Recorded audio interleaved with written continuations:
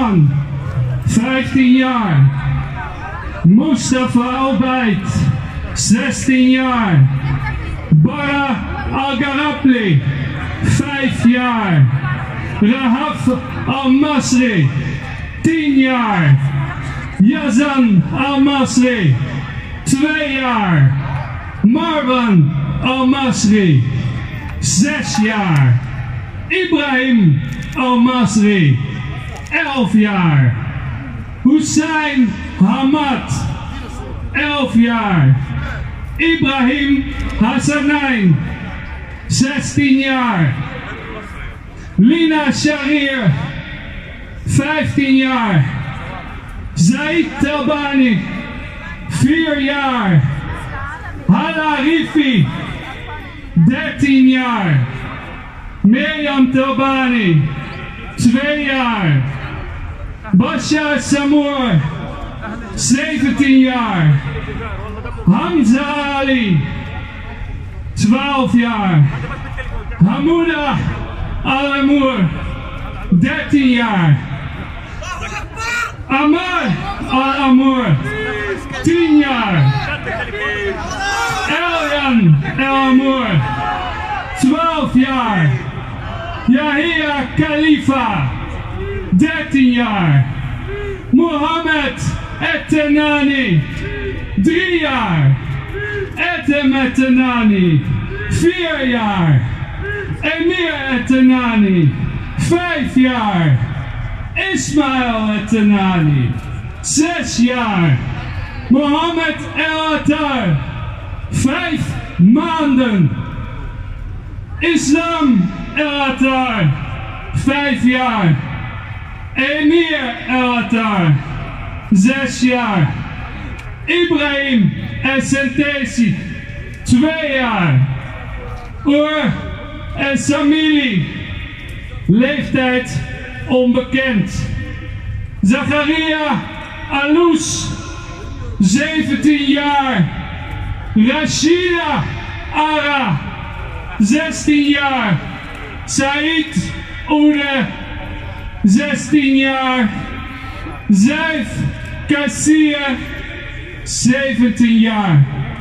Dat zijn de namen van de kinderen die de afgelopen dagen vermoord zijn door de Israëlische bommen op Gaza.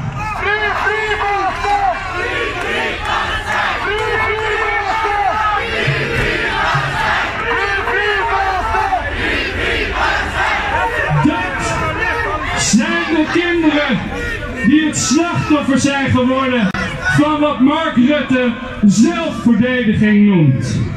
Vannacht is de lijst opnieuw langer geworden.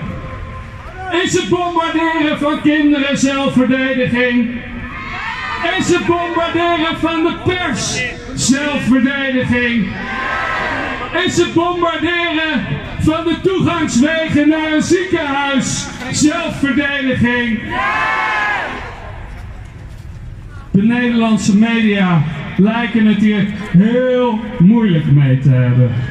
Onder het mom van objectieve berichtgeving en neutraliteit worden de onderdrukker en de onderdrukte op één hoop geveegd.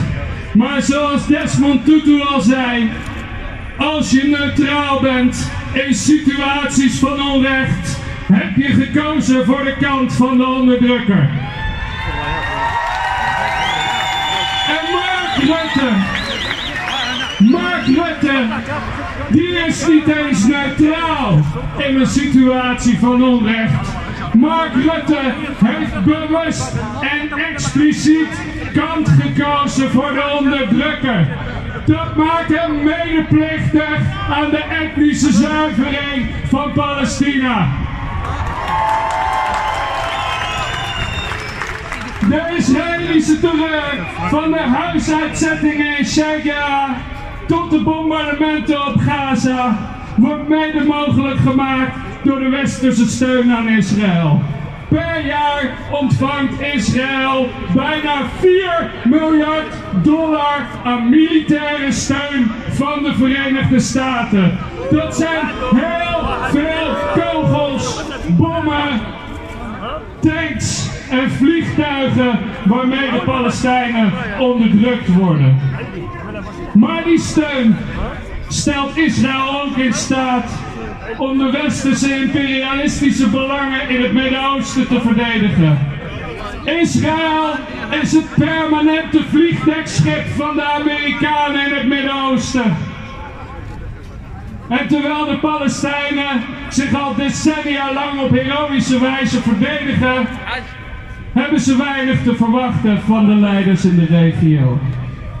Van Abdel Fattah al-Sisi in Egypte tot Mohammed bin Salman in Saudi-Arabië. Ze zijn medeplichtig, ze zitten in de zak van het Westen. En het wordt ook tijd dat Erdogan daad bij het woord voegt en sancties afkondigt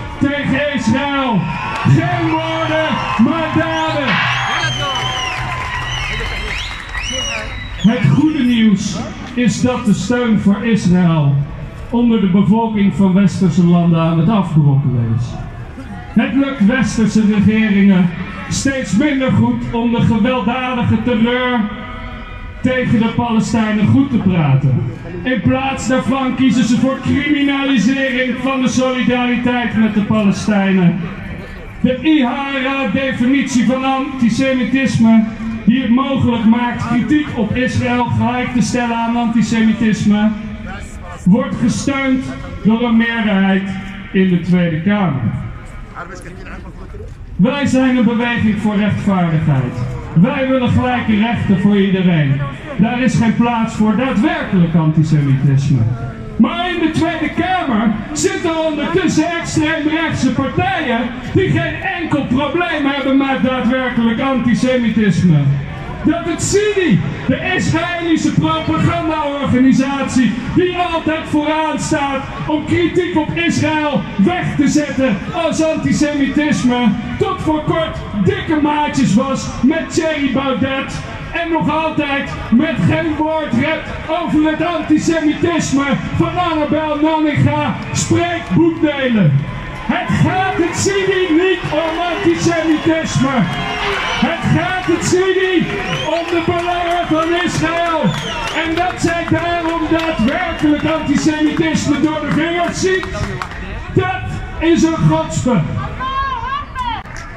Maar we moeten niet te lang stilstaan bij de schaamteloze hypocrisie van de verdedigers van Israël. Wij moeten uitgaan van eigen kracht.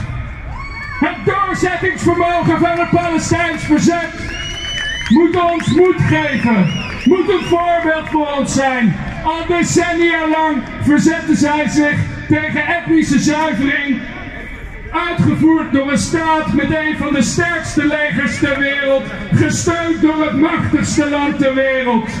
Dat zij kunnen doorzetten, betekent dat wij door kunnen zetten. Dat betekent dat wij een solidariteitsbeweging op moeten kunnen bouwen. Die de westerse steun aan Israël kan stoppen. En die sancties tegen Israël kan afdwingen. Om met de woorden van Omar Barghouti te spreken. Alles wat de Palestijnen nodig hebben van de wereld is een beetje meer lef. Boycott Israël. Sancties tegen Israël. Vrijheid voor Palestina. Vrijheid voor Syrië. Vrijheid voor Jemen. Intifada. Intifada. Palestina vrij. Nu. Dank jullie wel.